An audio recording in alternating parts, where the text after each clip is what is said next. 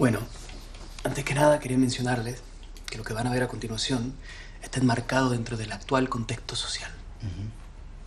Nosotros creemos que el país está preparado para una comunicación de esta naturaleza. Absolutamente. No hay que olvidar que la ciudadanía ha subido sus exigencias en torno a la verdad, en torno a lo que le gusta. Seamos honestos. Hoy, Chile piensa en su futuro.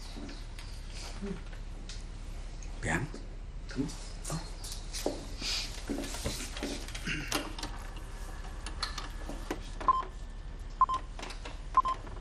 Ha llegado la nueva bebida cola. Es joven, es libre, es free.